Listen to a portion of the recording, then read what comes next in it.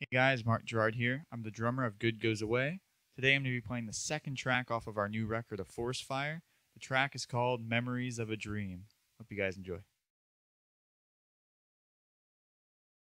Memories